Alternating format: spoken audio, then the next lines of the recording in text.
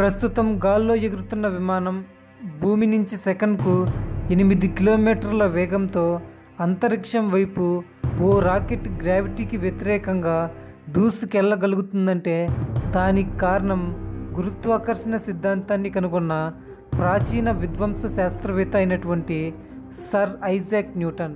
Apple iPhone అనగానే మనకు Apple పండు గుర్తొస్తుంది.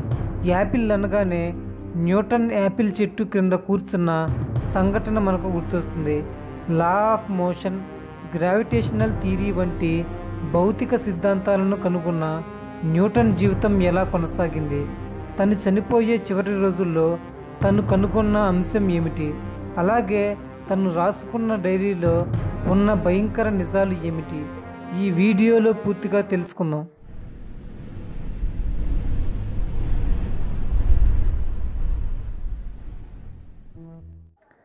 జూలియన్ క్యాలెండర్ ప్రకారం పదహారు వందల నలభై రెండు డిసెంబర్ ఇరవై ఐదు క్రిస్మస్ రోజున ఇంగ్లాండ్లోని వోల్స్ తోర్పులో జన్మించాడు న్యూటన్. న్యూటన్ పుట్టుక వల్ల వారి ఇంటి వారికి ఏమీ కలిసి రాలేదు. న్యూటన్ నాన్నగారైనటువంటి ఇసాక్ న్యూటన్ ఇక మూడు నెలల్లో న్యూటన్ జన్మిస్తాడు అని అనుకుంటుండగా ఈలోపు ఇసాక్ న్యూటన్ గారు మరణించారు. అదేవిధంగా తన తల్లి గర్భంలో నెలలు నిండకుండానే న్యూటన్ జన్మించాడు. న్యూటన్ అమ్మగారైనటువంటి హన్నా హెస్కాక్కి న్యూటన్ పుట్టుక అంటే ఇష్టం లేదు. ఎందుకంటే చాలా చిన్నగా పుట్టాడని ఒకసారి తను స్నానం చేసే మగ్గులో న్యూటన్ సరిపోయేంత చిన్నగా ఉండేవాడని చెప్పేది. న్యూటన్కు మూడు సంవత్సరాల వయసప్పుడు తను బర్నబా స్మిత్ అనే వ్యక్తిని రెండో పెళ్ళి చేసుకుంది. ఇక న్యూటన్ను వాళ్ళ అమ్మమ్మ గారైనటువంటి మార్జరీ హస్కిక్ దగ్గర ఉంచి ఈవిడ బర్నబాస్తో వెళ్ళిపోయింది. న్యూటన్ తనకు పన్నెండు నుంచి పదిహేడు సంవత్సరాలు వచ్చేదాకా గ్రాంతంలోని కింగ్స్ హై స్కూల్లో ప్రాథమిక విద్యను పూర్తి చేసుకున్నాడు. ఇక్కడ తనకు మ్యాథమెటిక్స్ మీద ఫౌండేషన్ పడింది. కానీ తోటి విద్యార్థులు మరియు టీచర్స్ ఇతని బలహీనమైన శరీరాన్ని చూసి హేళన చేసేవారు.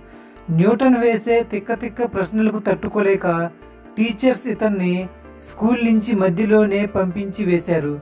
ఈలోపు న్యూటన్ అమ్మగారు బర్నబాస్ స్మిత్కు విడాకులు ఇచ్చి న్యూటన్ను తిరిగి వాళ్ళ సొంత ఊరైన ఓల్స్ తొరుపుకి తీసుకొచ్చింది. అప్పుడు ఆమె న్యూటన్ను ఒక రైతును చేయాలనుకుంది. కానీ న్యూటన్కు వ్యవసాయం అంటే ఇష్టం ఉండేది కాదు. న్యూటన్ అమ్మగారు కింగ్స్ స్కూల్లోని హెన్రీ స్టోక్స్ అనే టీచర్ను ఏదో విధంగా ఒప్పించి తిరిగి న్యూటన్ను స్కూల్కు పంపించింది. ఈసారి తను బాగా చదువుకుని స్కూల్ ఫస్ట్ ర్యాంక్ను సంపాదించుకున్నాడు. న్యూటన్ వాళ్ళ మేనమామైనటువంటి విలియం హస్కంగ్ రికమెండేషన్ ద్వారా కేంబ్రిడ్జ్లో ట్రినిటీ కాలేజ్లో జూన్ పదహారు వందల అరవై ఒకటిలో బిఏలో చేరాడు. ఇక్కడ తాను చిన్న చిన్న పనులు చేసుకొని వచ్చిన డబ్బులతో కాలేజ్ ఫీజు కట్టుకునేవాడు. చివరికి పదహారు వందల అరవై నాలుగులో తను ఎంఏ వరకు చదవగలిగేంత స్కాలర్షిప్ సంపాదించుకున్నాడు. మొత్తానికి పదహారు వందల అరవై ఐదులో తను బిఏ డిగ్రీని పూర్తి చేసుకున్నాడు. తర్వాత ఎంఏ చదువుదామనుకున్నాడు. కానీ కేంబ్రిడ్జ్లో ప్లేగ్ వ్యాధి రావడం వల్ల అక్కడి నుండి ఓల్స్ తోర్పుకు వచ్చేశాడు. తనకు చిన్నతనంలో వచ్చిన పిచ్చి పిచ్చి ప్రశ్నలకు సమాధానాన్ని వెతకటం కోసం చాలా బుక్స్ చదివేవాడు. ఇలా ఒకసారి వాళ్ళ ఇంటి ముందు ఉన్న యాపిల్ తోటలో ఓ యాపిల్ చెట్టు క్రింద కూర్చొని దీర్ఘంగా ఆలోచిస్తున్నప్పుడు ఓ యాపిల్ పండు సరిగ్గా తన తల మీద పడింది. అరే యాపిల్ పడింది తీసుకొని తిందాం అని అందరూ అనుకుంటారు. కానీ న్యూటన్ మాత్రం ఎందుకు యాపిల్ పండ్లు భూమి మీద పడుతున్నాయి? పక్కకో లేదా పైకో పోవచ్చుగా? అని దీర్ఘంగా పండును పట్టుకుని ఆలోచిస్తున్నప్పుడు గ్రావిటేషన్ గురుత్వాకర్షణ సిద్ధాంతాన్ని కనుగొన్నాడు. ఇదే మనం పిలుచుకునే లా ఆఫ్ యూనివర్సల్ గ్రావిటేషన్ దీని ద్వారానే ఈ విశ్వంలోని ప్రతి వస్తువు ఇంకొక వస్తువుని ఆకర్షించుకుంటుంది. ఆ ఆకర్షణ అనేది దాని ద్రవ్యరాశి వేగాన్ని బట్టి ఆధారపడుతుందని చెప్పాడు. ఇదే ఇప్పుడు మనం బుక్స్లో చదువుకుంటున్న త్రీ లాస్ ఆఫ్ మోషన్ ఇతను కనుగొన్న సిద్ధాంతాలతో ఇప్పుడు మనం నడిపే బండ్లు ఎంత వేగంతో వెళ్ళాలి?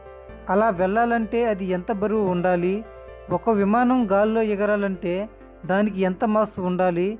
గురుత్వాకర్షణకు వ్యతిరేకంగా ఓ రాకెట్ పోవాలంటే దాని వెలాసిటీ ఎంత ఉండాలి? ఇలా రకరకాల ప్రశ్నలకు సమాధానంగా ఎన్నో థీరీస్ను కనుగొన్నాడు. ఇలా రెండు సంవత్సరాల ఒంటరి పరిశోధన తర్వాత పదహారు వందల అరవై ఏడు ఏప్రిల్లో తిరిగి కేంబ్రిడ్జ్కు వచ్చాడు. ఇక్కడ ట్రినిటీలో ఫెలోగా ఎలక్ట్ అయ్యాడు. ఇలా ఎన్నుకోబడిన వారు పాస్టర్లుగా చర్చిలో సేవ చేయాలి. ఇలా తను ప్రీస్ట్గా ఉంటూ తన పరిశోధనలేమీ ఆపలేదు. ఏది ఏమైనప్పటికీ పదహారు వందల అరవై తొమ్మిది నాటికి తన మాస్టర్స్ డిగ్రీని సంపాదించుకున్నాడు. తను ఎంఏ కంప్లీట్ చేసిన రెండు సంవత్సరాల తర్వాత ఫెల్లో ఆఫ్ రాయల్ సొసైటీకి ఎంపికయ్యాడు. గ్రావిటీ మోషన్ మీదే కాదు ఆప్టిక్స్ మీద ఒక ప్రిజం మీద ప్రయాణించిన కాంతి వివిధ రంగులను ప్రసరింపజేయడాన్ని అలాగే ఆకాశంలో ఏడు రంగులతో ఇంద్రధనుస్సు ఫామ్ అవ్వడాన్ని ఇలా కాంతి ధర్మాలపై మరియు రకరకాల ఆప్టిక్స్పై పట్టు సాధించాడు. అలాగే పదహారు వందల డెబ్బై నుంచి పదహారు వందల డెబ్బై రెండు కాలంలో ఆప్టిక్స్ మీద స్టూడెంట్స్కు క్లాసులు కూడా చెప్పాడు. ఇలా అంతరిక్షంలో ఒక రాకెట్ వేగంగా పోతున్న భూమి మీద మనం బస్సులలో సురక్షితంగా ప్రయాణించగలుగుతున్నామంటే దానికి కారణం న్యూటన్ పరిశోధనలు. ప్రస్తుతం మనం చదువుకునే ఫిజిక్స్ మ్యాథ్స్ టెక్స్ట్ బుక్స్లో అతని సిద్ధాంతాలు లేకుండా ఉండవు. అందరిలాగా ఏదో పండు పడాలి కాబట్టి మీద పడింది తిందాంలే తీగా ఉంటుందని న్యూటన్ అనుకుంటే సాంకేతిక అభివృద్ధి అక్కడితోనే ఆగిపోయిండేది ఒక రకంగా చెప్పాలంటే శాస్త్రవేత్తల ఆవిర్భావంలో ఆవిర్భవించిన విధ్వంసం ఇతను. ఇతన్ని ఇన్స్పైర్ తీసుకునే స్టీవ్ జాబ్స్ యాపిల్ ఐఫోన్ లోగోను మొదట్లో న్యూటన్ పిక్చర్తో డిజైన్ చేయించాడు. చివరిగా మార్చ్ ఇరవై పదిహేడు వందల ఇరవై ఏడులో తన ఎనభై నాలుగు ఏళ్ళ వయసులో లండన్లోని కెంగ్సింగ్టన్లో ఒక వర్జిన్గా మరణించాడు. తన జీవితంలో అతను పెళ్ళి చేసుకోలేదు. అమ్మాయిలతో సంబంధం లేదు.